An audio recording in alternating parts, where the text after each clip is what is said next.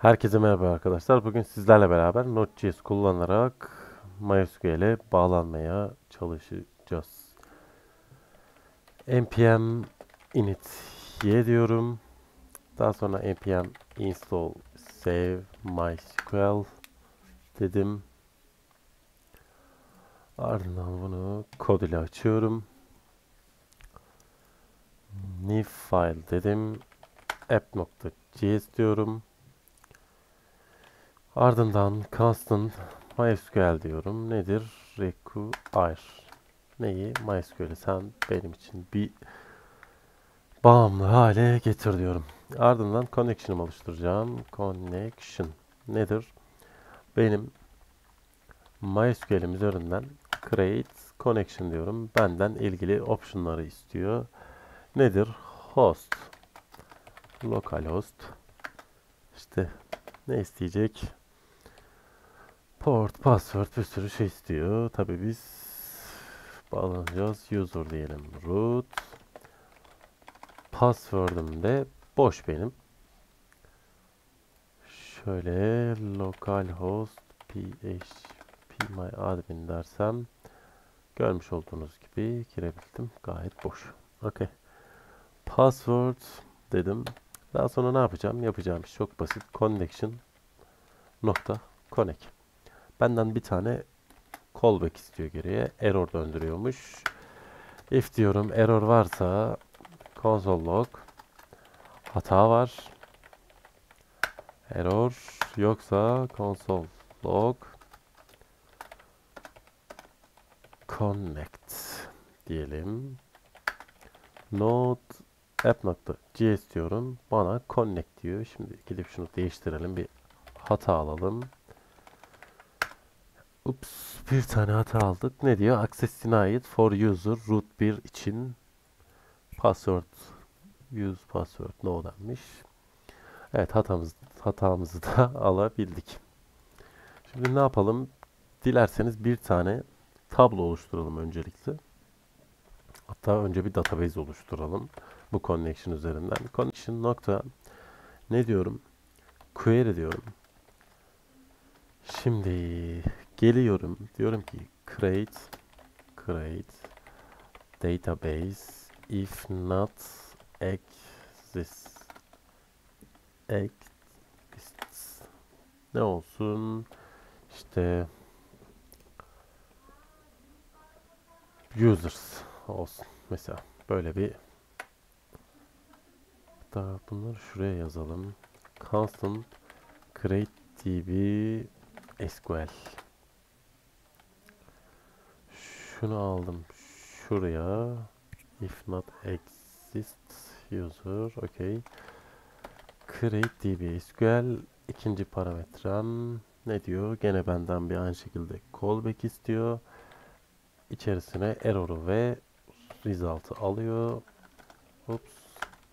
if error varsa console hata var diyelim. Error yoksa artık console.log result result diyelim. Dönüyorum. Öyle bir tipim yok. Not app.js dedim. Result ok package dedi. Etkilenen row 1, server statüsü 2'ymiş. Vesaire. Burada protokol bilgisi bilmem ne diyor. Bakalım bir yenileyeyim. Evet, user tablosu buraya gelmiş.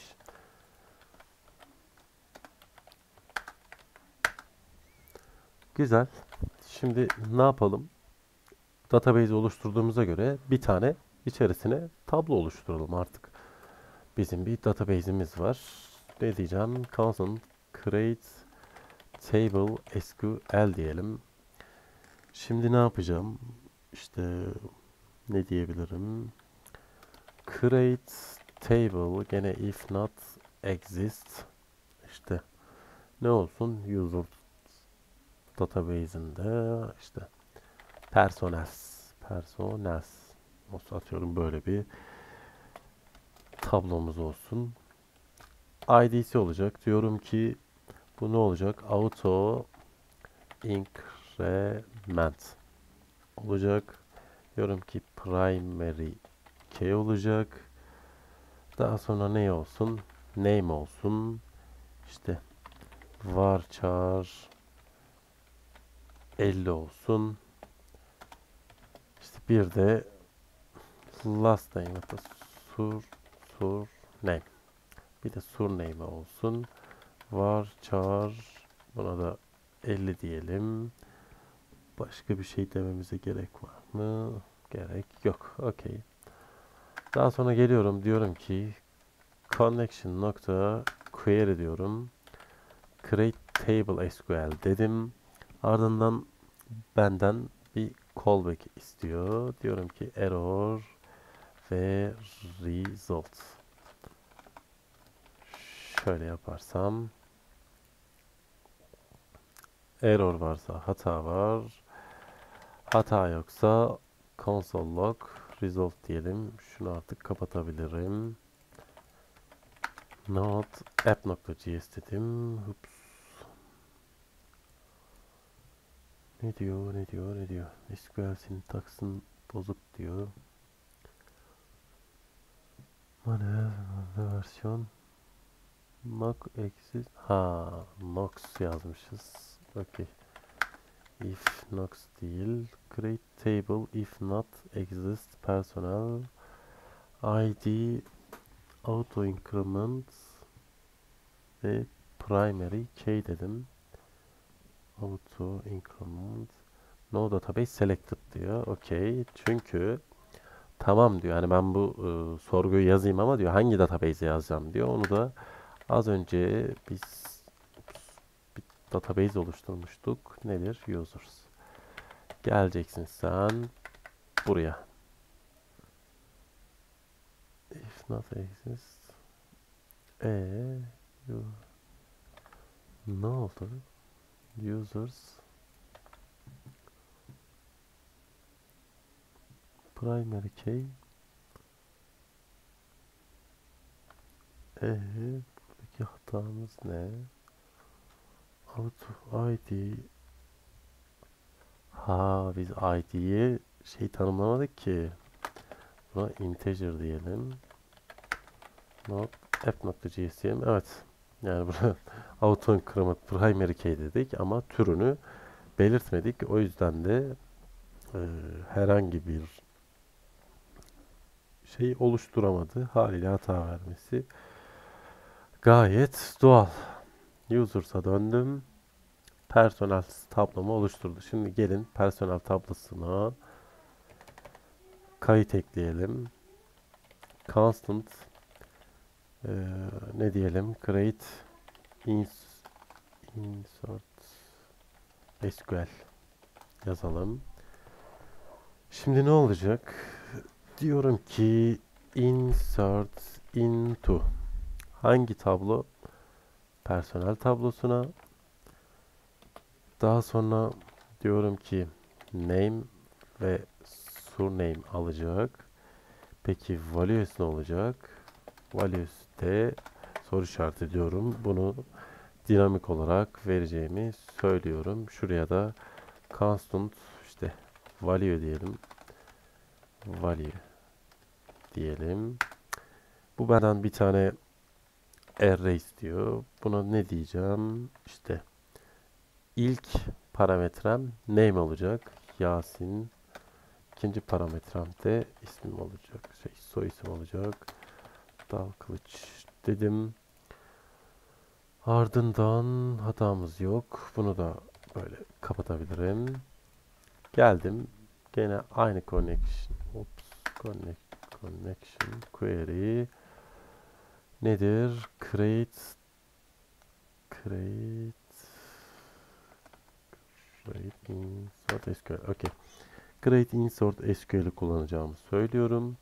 Daha sonra ilgili value tanımlıyorum. Ve bu benden bir callback istiyor gene. Result diyorum.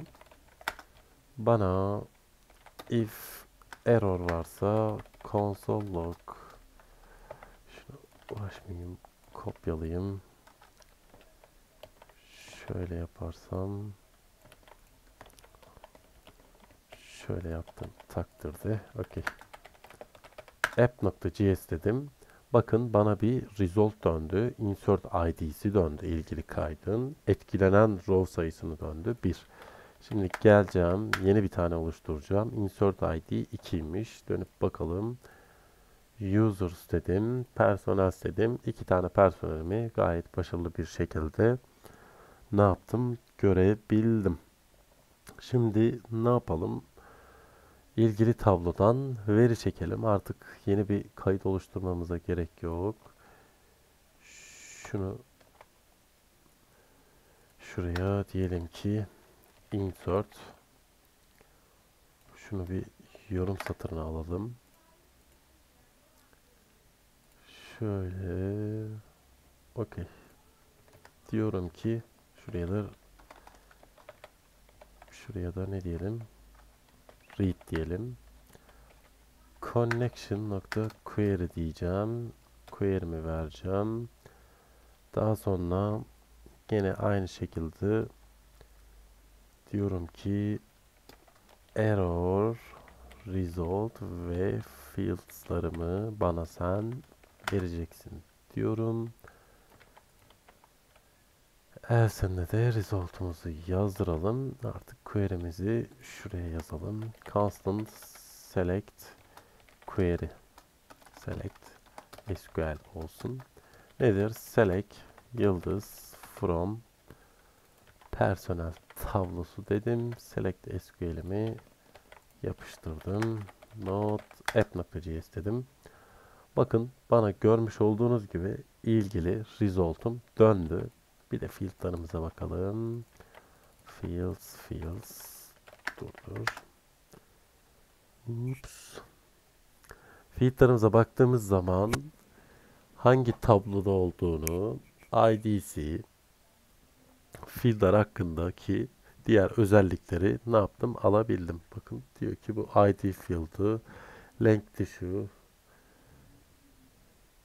işte name alanının bu. Surname alanının length'i bu. Şeklinde ilgili field'larımızı da alabildik diyelim. Başka ne yapabiliriz? Ee, aynı şekilde mesela bir de Word sorgumuza bakalım. Örneğin ben IDC 1 olan veriyi çekmek istiyorum. Nasıl yapabilirim? Şunu kopyaladım. Şuraya diyelim ki Word olsun burası da. Şunu şöyle kapatalım artık. Diyorum ki constant ver SQL olsun. Bunun adı da. Diyorum ki select yıldız from personels nedir? Ver işte id'si eşittir diyorum. Soru işareti. Ver SQL. Şuraya da constant id diyelim 1. Ver SQL'i aldım. Ver SQL'i buraya yapıştırıyorum. Parametremi de aynı şekilde şuraya gelip diyorum ki id. Ardından bu bana ne dönecek? Artık field dönmeyecek. Burada hatamız ne? Query, SQL bir yerde şunu bekliyormuş. Biz de onu verelim. Okey. Durdurdum. Not app.js dedim. Ver id eşit eşit olmuş. Evet ver id soru işareti olacak. Parametre geçeceğim çünkü. Evet görmüş olduğunuz gibi 1'i getirdi. 2'yi getir dedim. Şöyle yapalım. 2'yi getirdi. 23'ü getir dediğimde bana boş bir result getirdi. Okay. Şöyle yapalım. Şimdi başka neyimiz var? Create yaptık, read yaptık, ver yaptık. Ee, delete yapabiliriz. Şunu kopyalayayım. İşte connection query ver SQL değil artık. Ne olacak? Delete SQL, delete SQL Peki sorgum ne olacak? Delete from personel ver IDC ne olan? IDC 2 olan bakalım bizim kaydımız nerede? Personeller burada. Node app.js dedim. Bana 2 numaralı kaydı sildiğini söyledi mi? Hayır. Ver SQL değil bu. Delete SQL olacak. app.js dedim. Bakın affected rows 1 dedi. Yani bir tane satır bundan etkilenmiş. Geldim sayfamı yeniledim. Gayet başarılı bir şekilde silindiğini gördüm. Olmayan bir kaydı denediğimde bakın affected row 0 dedi. Yani hiçbir row bundan etkilenmedi diyelim. Şuraya da delete dedim. Ardından bunu bunu da böyle kapatalım. Son olarak da neyimiz var? Update yapabiliriz. Şöyle yapalım. Um, şuraya delete SQL değil update SQL derim. İşte update personals. İşte set mesela name olsun. Set name. Ne olabilir? İşte Ali diyelim şöyle. Ali. Ve Ali yazdım. Ver id'si parametre olsun. Örneğin. Ardından şunu aldım. İd'yi 1 diyelim. Update sql şunu gelelim. Diyorum ki update sql id'si 1 results. Okey. Döndüm. Yasin yazıyor. Not app.js dedim unknown colon ali diyor. Öyle bir kolon yok diyor. Set name ali dedik. Set name bunu şöyle yaparsam bunu da kolon olarak algıladı. Evet. Diyor ki bir tane row'un etkilendi senin bir tane row'un değiştirildi diyor. Dönüp baktığım zaman ismim Ali olarak değişmiş. Şuraya da bir soru işareti örneğin atalım. Sırasıyla bu sefer ne diyeceğim? İşte tekrar Yasin olsun, ID olsun, not app.js dedim. Döndüm. Evet gayet başarılı bir şekilde tekrardan düzeltmiş olduk. Şuraya da update yazalım ve bu dersi burada sonlandıralım. Bir sonraki Node.js dersimizde görüşmek üzere.